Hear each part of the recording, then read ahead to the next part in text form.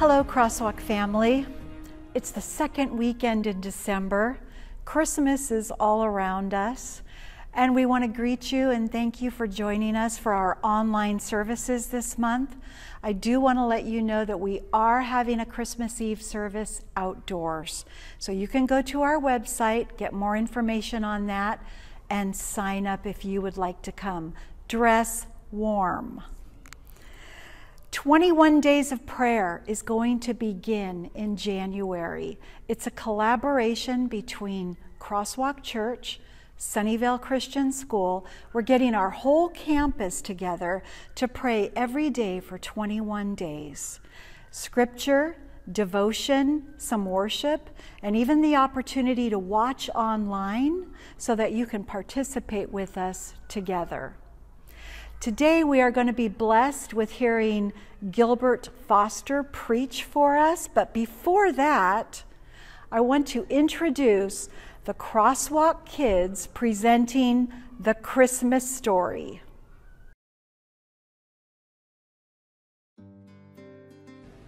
The Christmas Story by the Crosswalk Kids.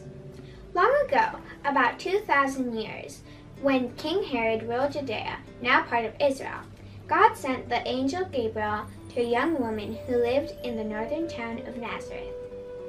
The girl's name was Mary, and she was engaged to marry Joseph. The angel Gabriel said to Mary, Please be with you. God is with you and is pleased with you. Mary was very surprised by this and wondered what the angel meant. The angel said to her, Do not be afraid. God has been very kind to you. You will become pregnant by the Holy Spirit and give birth to a baby boy, and you will call him Jesus.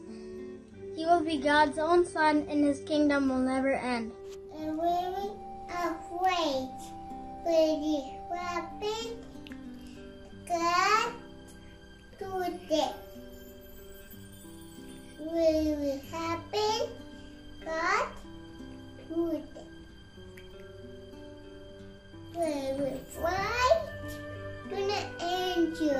Gabriel, the angel, also told Mary that her cousin Elizabeth, who everyone thought was too old to have kids, would have a baby boy who God chose to prepare the way for Jesus. Mary said goodbye to her family and friends and went to visit her, her cousin Elizabeth and her husband Zachariah. Elizabeth was very happy to see Mary. She knew that Mary had been chosen by God to be the mother of his son. An, an angel had already told Zechariah that Elizabeth's baby would prepare people to welcome Jesus. He was to be called John. Mary stayed with Elizabeth about three months and then returned home to Nazareth. Joseph was worried when he found out that Mary was expecting a baby before their marriage had taken place. He wondered if he should put off the wedding altogether. Then an angel appeared to Joseph in his dream and said, Do not be afraid to have Mary as your wife.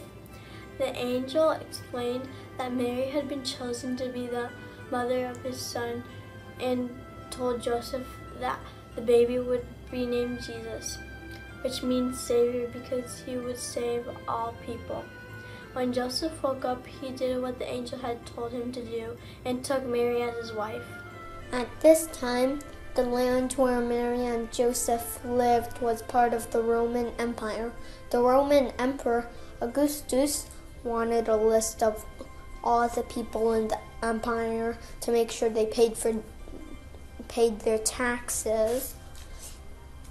He ordered everyone to return to the land their families originally came from and enter their names in the census there. Mary and Joseph traveled a long way, about 70 miles from Nazareth to Bethlehem, because that's where Joseph's family came from.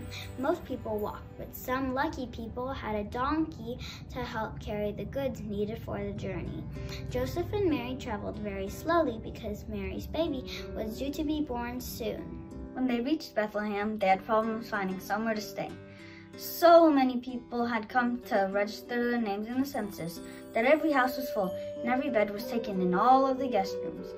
The only place to stay that they could find was with the animals.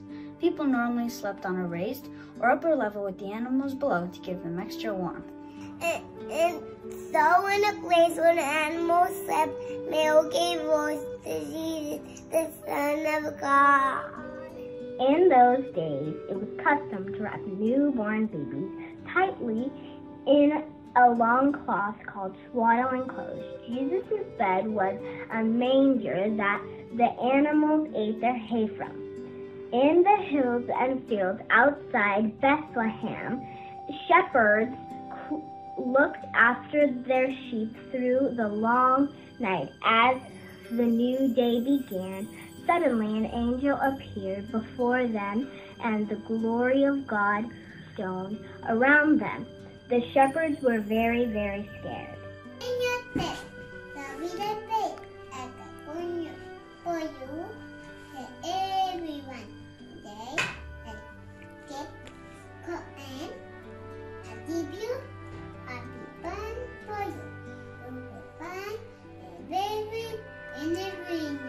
Then many more angels appeared lighting up the sky. The shepherds heard them praising God, singing, Glory to God in the highest, and peace to everyone on earth. When the angels had gone, the shepherds said to one another, Let's go to Bethlehem to see what has happened. So the shepherds went to Bethlehem and found Mary and Joseph. The baby Jesus was lying in a manger as they had been told. When they saw him, they told everyone what the angel had said, and everyone who heard the story were astonished. The shepherds returned to their sheep, praising God for sending his son to be a savior. When Jesus was born, a brand new bright star appeared in the sky. Some wise men in faraway countries saw the star and guessed what it meant.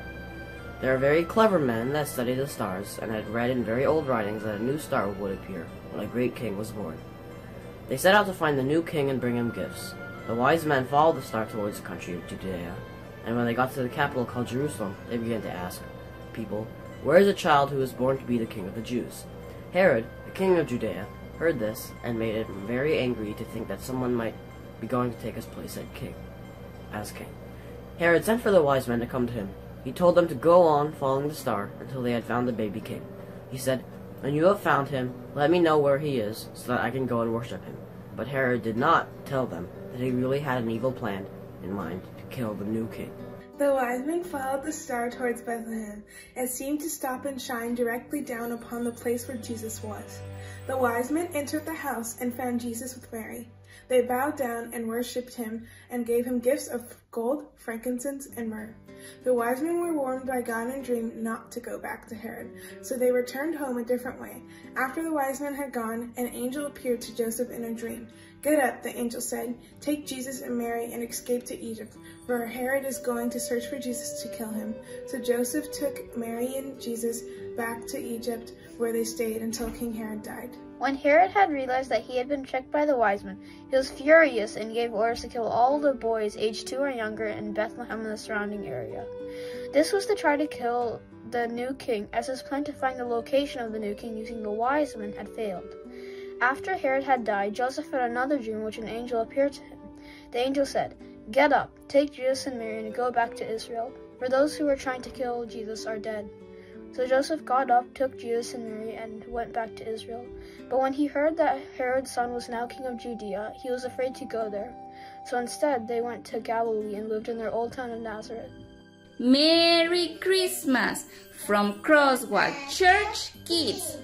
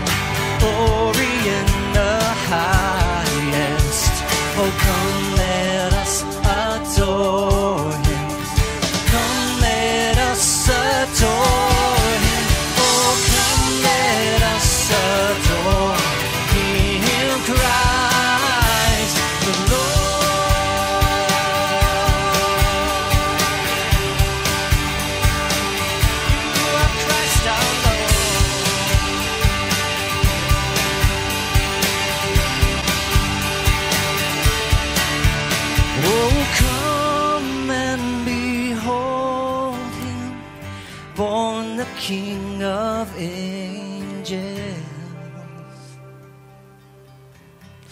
Oh, come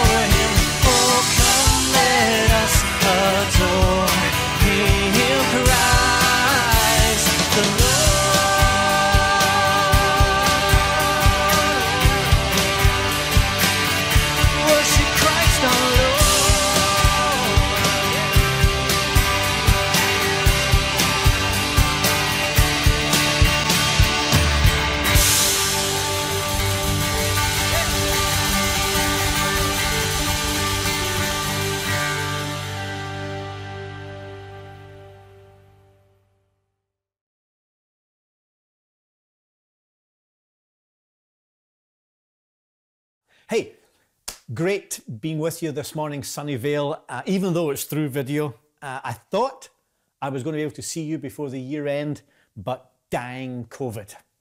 So, we're virtual, and it is a great privilege to be given an opportunity to preach again. So, come January, I'll be carrying the majority of the preaching as your interim senior pastor, but not full time. And so in January, I will preach three or four Sundays, de- depending if we're online fully or not online fully. And then in February, March, and April, I'll carry 50% of the preaching. And to help fill the pulpit will be some of Crosswalk staff, along with some Crosswalk people, Angel and Ed, and also Matthew. And we'll also have some GHC pastors, Growing Healthy Churches pastors, speak from time to time. And folks, it'll be good, but it will be different. Pastor John retires and Crosswalk Church enters a period of transition, and transition always means change. So uh, I'm going to speak more into this come January. But what's important is this the pulpit is not about personality. The pulpit is about coming to hear from God through His Word and by His Spirit, whether online or in person, and no matter the messenger. Think about it. You know, be wary of placing too much importance on the messenger. You know, God came as a baby, Christmas. And in the past, he's even spoken through an ass. Okay?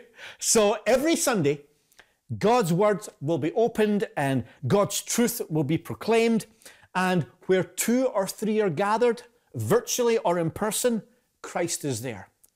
And when Christ is there, that is enough. It will be great. And we very much look forward to seeing what God's going to do come 2021. Well, other great news that happened this week uh, the drug company Pfizer began their vaccination program in the UK, and it's about to happen here in America. And uh, you'll be able to soon, with the vaccination, hug your family members and not worry about social distancing. Which, come to think of it, as somebody from Britain, nah, that's maybe not so good news. social distancing is the way to do it, folks, okay?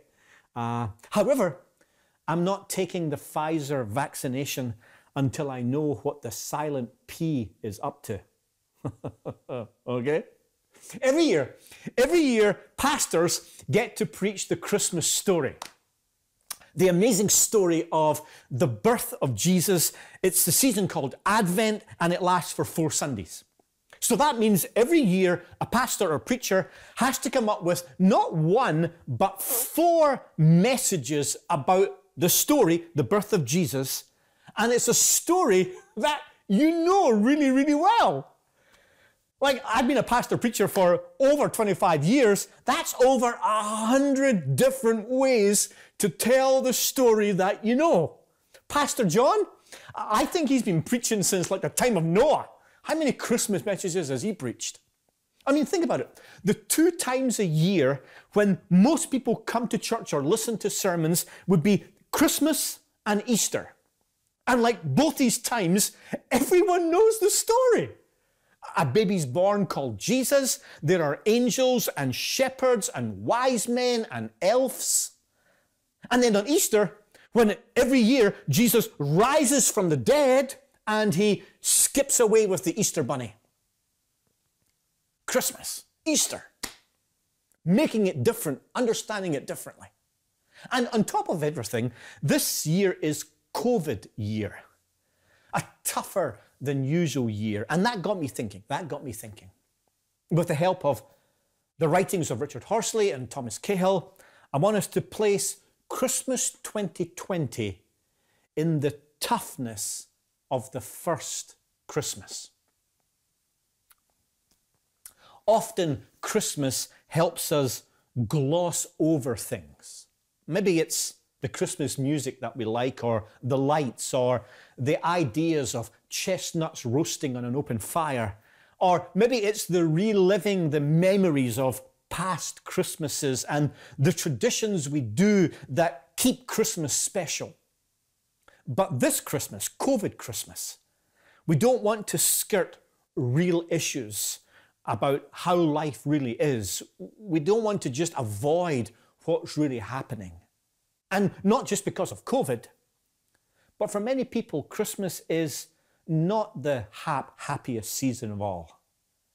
Awkward family gatherings, or missing family members, or empty kitchen cupboards, or arguing kids, or let's not mention the in laws. For every person who Christmas brings out the best of life, there's somebody else. And Christmas brings out everything that's wrong with the world. And it's, it's what's wrong with the world that is our starting point for this year's Christmas story and my one preach in your Christmas Advent series. At the time of the first Christmas, what happened around year zero, you can figure that out later, the world was ruled by one of the Caesars, Caesar Augustus. The first Caesar was Julius Caesar, a ruler of an empire, inventor of a salad.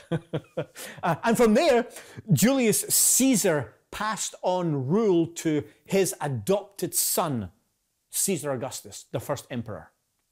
And Caesar Augustus came to power in roughly 20 BC, and then he ruled until 14 AD. And so the Christmas story happens around his time of ruling.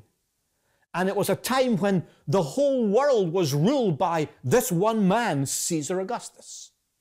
Caesar Augustus believed that his father, Julius, was God who had ascended to heaven. And so he, Julius uh, Caesar Augustus, referred to himself as the Son of God. And they sang hymns to him, worshipping him as the Son of God. Caesar Augustus had high priests who would offer incense to Caesar Augustus, and through his priests, they believed you could receive forgiveness of sins. Caesar Augustus saw himself as the savior of the world, who had come to reunite heaven and heaven and earth. He was the embodiment of the good news. You picking up on some familiar Christian language? So, in the real Christmas story, get your minds around this. The whole world was united from England to India. And notice I didn't say Scotland because the Romans didn't get us, okay? They looked over the wall, Hadrian's Wall. they saw a bunch of Scottish men wearing skirts. We call them kilts. And they said, well, we ain't going up there. So the world was then England to India. And it was ruled by the Roman Empire. And the Roman Empire was ruled by Caesar Augustus. So you paid tribute to Caesar Augustus. And they slaughtered anyone who stood in their way. When Caesar's soldiers came to your village, they would ask, Is Caesar your Lord? And you would reply, Yes, Caesar is our Lord. And if you refused, they killed you. There are records of one of Caesar's generals, Cassius, who enslaved 30,000 people because they refused to say Caesar is Lord. So let's imagine your village. In walks the Roman soldiers. If you refused to bow down, they would slaughter you and they would take the rest of your village and make them their slaves women, kids, grandparents. There's a report in one writing of the city of Sepphoris, not far from Nazareth. And they refused to accept Caesar, and the Roman troops captured and burned the city, making slaves of most, but crucifying on the spot about 2,000 people. They carried out a torched earth policy and pity any city or village that stood in their way. Reports on one day of 15,000 people being slain in the city of Jaffa in just six hours of fighting. And Jaffa is only two miles outside of Nazareth. This was Caesar's rule of peace, Pax Romana. And you're, you're starting to track with the story. In the name of peace, he would slaughter and massacre to control the world. And if you did bow down, you would then be part of the Roman Empire and you would pay taxes, and your taxes would go to Caesar so he could pay for more troops to do more conquering to control more of the world. Now, as the empire advanced, how did Caesar keep control when he was a nine month journey away?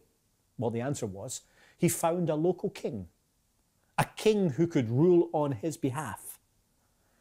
And in the land of Israel, now controlled by the Roman Empire, in walks to the Christmas story a local king called Herod, who was a distant cousin to Santa Claus, which is a kind of neat twist in the whole story.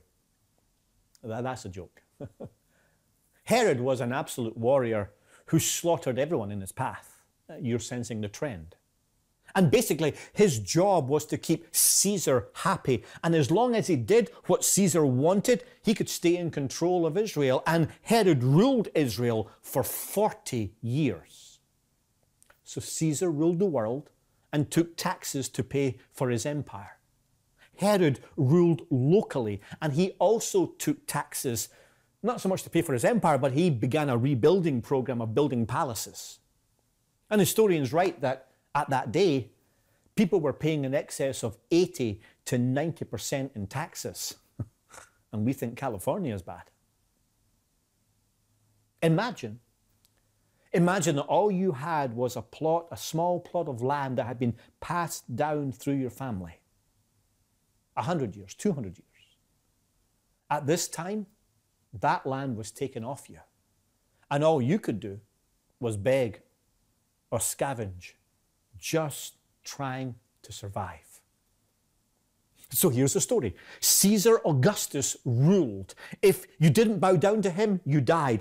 Herod rules locally. If you didn't bow down to him, you died. He killed his own son because he was suspicious of him. He had 15 of the most respected Jewish leaders kept prisoner until the day that he died so that they would be they would be murdered on the day that he died and he did that so that on the day that he died they would be guaranteed mourning at his death death taxes, slavery, oppression. Now, the Jews believed that they were God's people. God had given them this land. He would provide for them. And so, what developed at this time was a deep sense of despair, a profound sense of fatalism. Is, is Caesar always going to rule? Is Herod always going to be on the throne? They just kill and kill and kill, and the rich get richer, and the poor, they get poorer and poorer, and those who have, they get more, and the normal everyday person, 99% of us, we have less and less and less. To understand the Christmas story, this is the history. Forget the the quaint Christmas card scene of a star and angels and shepherds and a manger and a sty and still the night. This was violent and brutal, hard. Within the Jewish people developed a profound sense, sense of doubt. God, if you're so good, why is Herod still on the throne? God, if you're so good, why is Caesar claiming to be God and getting away with it? God, if you're so good, why cancer? God, if you're so good, why divorce?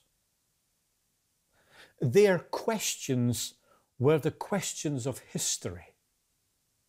God, if you're so good and I try to do the right thing, why is this happening? And so, as we blur the lines between their Christmas story and our Christmas story, their questions are maybe your questions. God, if you're so good, why did I lose my house?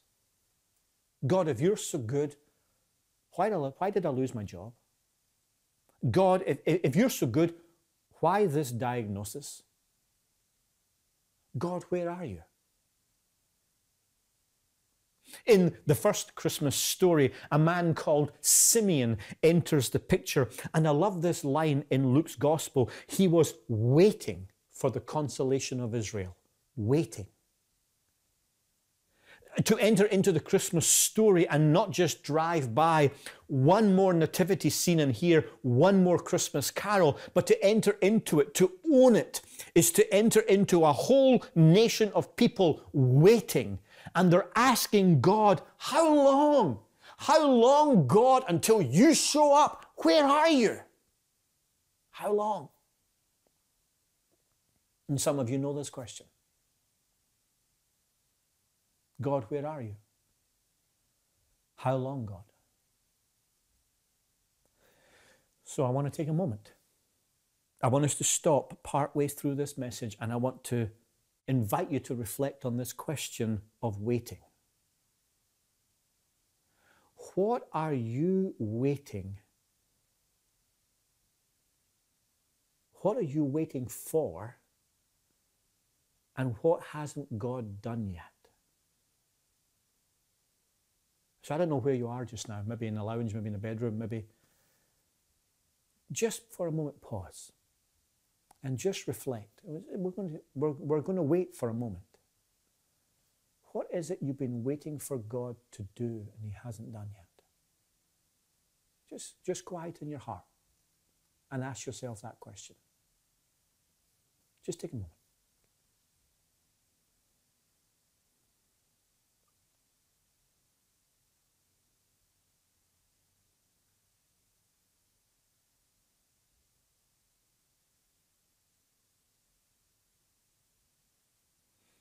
And God, as we sit in the waiting, we don't just sit thinking through what it is that we're waiting for you to do, but we come to you and we pray that you would intervene, that you would deliver or rescue or redeem or renew, that you would act. I, I don't know what people have said they're waiting for God, but I know in the human heart, we're often waiting because we live with disappointment and brokenness. But we believe in a Redeemer, in a Savior, somebody who saves and moves.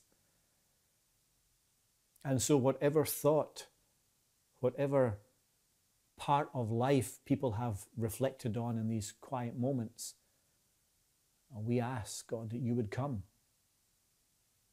and that you would deliver, that, that, that the waiting would be over, and that you would move. That's our Christmas prayer, God. So, so this is the world around year zero. Despair. How long, God? God, where are you? And this is where the Christmas story picks up. Out of nowhere, an angel appears to a young Jewish girl. And Jewish girls were normally given in marriage around the ages of 13 or 14, so junior high. And I wanted you to turn in your scriptures this morning to Luke's Gospel, chapter 1. And I want to read a little bit of the scripture here. Uh, Luke's Gospel, chapter 1, verse 30. Listen to these words. The angel said to her, this is to Mary, Do not be afraid, Mary. You have found favor with God.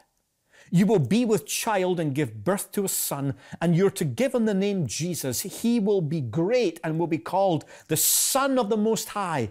The Lord God will give him the throne of his father David, and he will reign over the house of Jacob forever. His kingdom will never end. The, these last words there, uh, the Lord God will give him the throne of his father David, and he will reign over the house of Jacob forever. It's, a, it's at this time and in this place that an angel appears.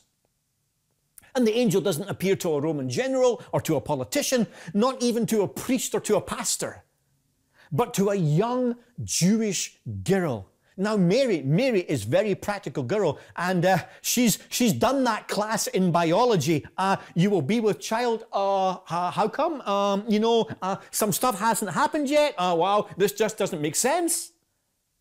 And the angel says, Well, Mary, Mary, you don't understand. You're going to get pregnant by the Spirit of God.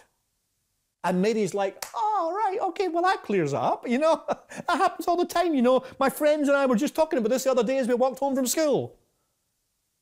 And, and, then there are several different translations of how the angel and Mary's interaction ends. And I love how Thomas Cahill puts it, verse 38. Uh, Mary said, here I am, the Lord's servant. Let's get on with it. This is the Christmas story. But isn't it so bizarre? And that's why it's so powerful. It captures our imagination because it's God showing up and using the most unexpected kinds of people. God shows up and says, I haven't forgotten. But he shows up in the most unexpected ways. In the womb of a teenager, in the voice of the poor, in the eyes of the migrant, in the helplessness of the patient, in the faith of an elderly gentleman, God shows up and says to Mary, Mary, Mary, Caesar's gone down. Mary, Mary, Herod's had his day. Mary, Mary, you're going to have a baby and call him Jesus, for he will save the world from their sins. And as the story is told in Luke's Gospel, Mary explodes with a poem, and it's called the Magnificat, which is Latin for it magnifies. Luke's Gospel, chapter 1, verse 46.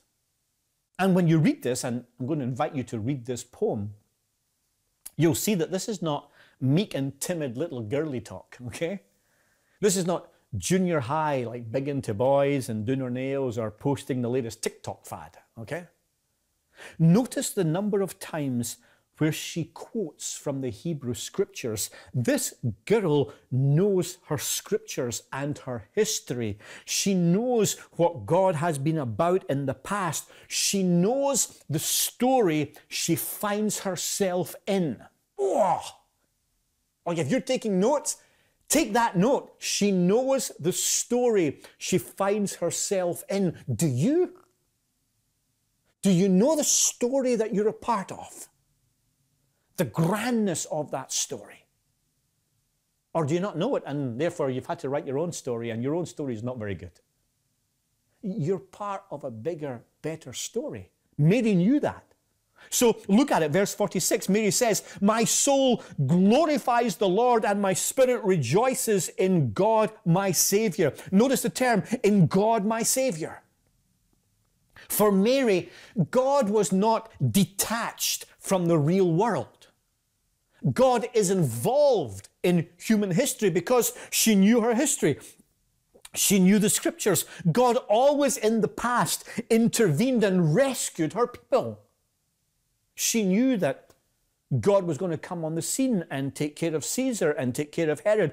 Mary's God was in the midst of concrete reality flesh, blood, taxes, economy, wars, struggles, debt, unemployment, COVID.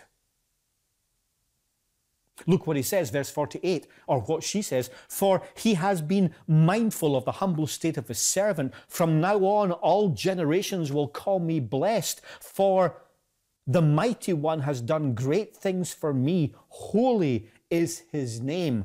This is a quote from the Psalms. In fact, seven quotes from the Psalms in this poem. And the Psalms were the songbook of Israel. You sang the Psalms. Like, like Kiss Country or Prime Country didn't really work for Mary. She sang the songs of her doctrine, of her faith, of her God. Wait a minute. Is your 14 year old daughter singing songs of faith? Or is she singing songs of hip gyrating synthetic pop yuck? And look at what she says, verse 50. His mercy extends to those who fear him from generation to generation. He has performed mighty deeds with his arms. He has scattered those who are proud in their innermost thoughts. I, I, I like how Thomas Cahill writes it. The Magnificat is the most muscular poem in all of ancient literature. This isn't a girl who says, whatever. This is a girl who says God is going to come on the scene and do something huge. Notice that she sang or, or she writes, He scatters the proud. That, that's not in the Hebrew scriptures. this was Mary's own faith. This was her own conviction of the kind of God who was now being birthed in her virgin womb. Let's read on to the end, verse 52. He has brought down rulers from their thrones, but has lifted up the humble. He has filled the hungry with good things, but has sent the rich away empty. He has helped his servant Israel, remembering to be merciful to Abraham and his descendants forever, even as he said to our fathers. Here's this worldwide empire, England to India, crushing anybody on its path. And Mary says, That's not a problem to my God. God has been watching. Yes, He's been waiting, but He's also been watching, and now is the time. And Cahill writes, No one knows it yet, but the poor and the hungry and the humiliated have won and this unknown 13 year old is their unexpected representative. I don't know what age you are when you're watching this, but if you're a 13 or a 14 year old, you could be God's unexpected representative. Oh. I love it. I love it. Mary says, I know that Caesar is sitting on a big throne with a big sword. And I know Herod is still overtaxing us and ruining our lives.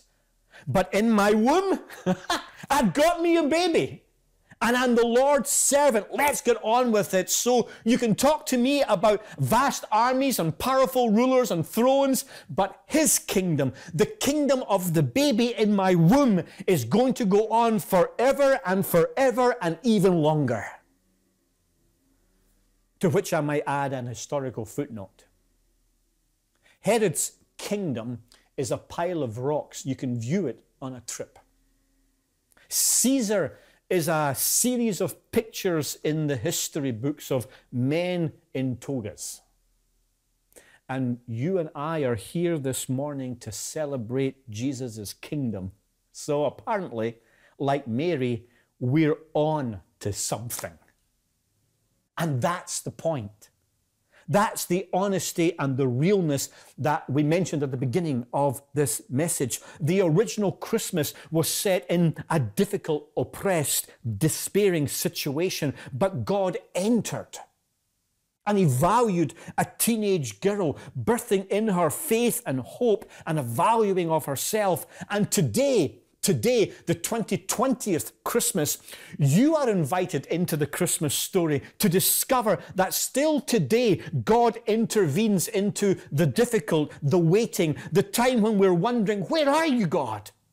And even more, even more, even greater, you're invited into the Christmas story to discover that still today, God values ordinary people. And if God values you, then perhaps you can value yourself. Your value is not determined by your circumstances, even pandemic circumstances. It's not determined by the circumstances imposed upon you, whether because of your race or your economics or your educational opportunities or your health coverage, although too often they're interrelated or due to our ignored or overlooked systemic injustices and, and inequality. But, but your value is not determined by your economic status or your employment status or your marriage status or your income status or your social status. The baby born birthed a new kind of kingdom. The kingdom of God and life in that kingdom sees reality, even the harshest, most challenging, difficult realities, from a very different perspective. That's why, my dear friend John, you call him Pastor John, with cancer in his body for the second time, smiles every day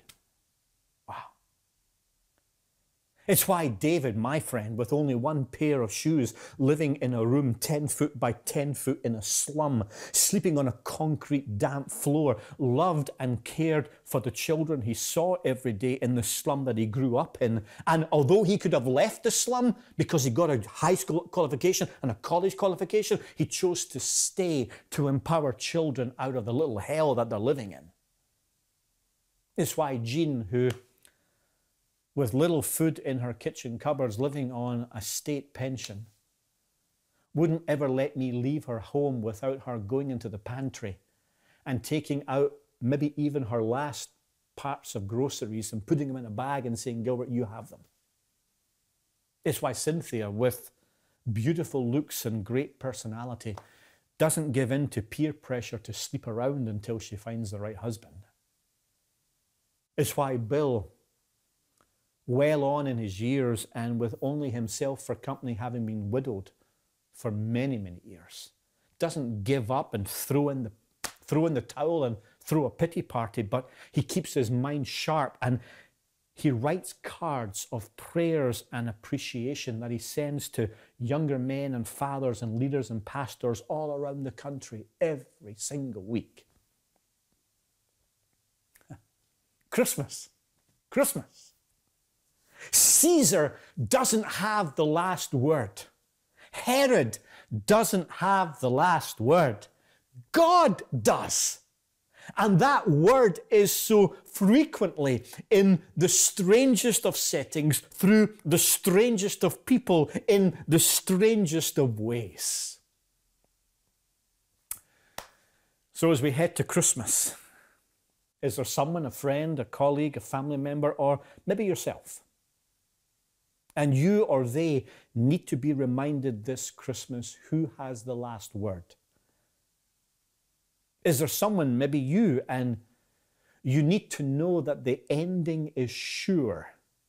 There is one king and there is one kingdom that will always be, and those that follow that king will always be there as well. Is there someone, and it's maybe you, and you need to find yourself in the first Christmas story and choose the faith path, the trust path, the boldness path, the victory path that that teenage girl Mary chose.